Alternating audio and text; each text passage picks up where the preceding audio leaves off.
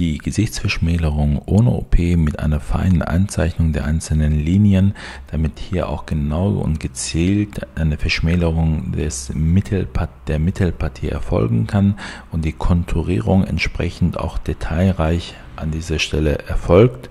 Die Behandlung sollte immer hier von einem Facharzt für plastisch-ästhetische Chirurgie durchgeführt werden. Das ist, denke ich, auch sinnvoll, um hier Schäden vorzubeugen.